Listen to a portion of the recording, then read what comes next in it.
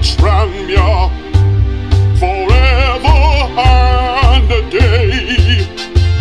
No matter what the people do or what the papers say.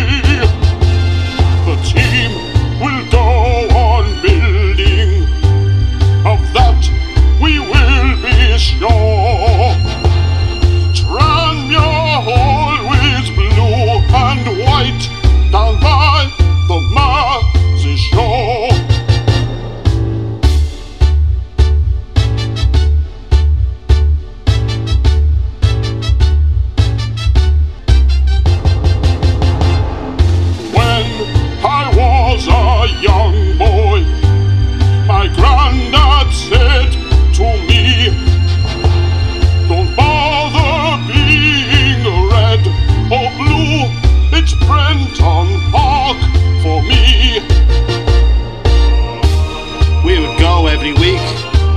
Watch Rochdale and Bury. I even saw Bobby Charlton once. He was playing for Preston North End. Standing in the cowsheds, drinking Bovril.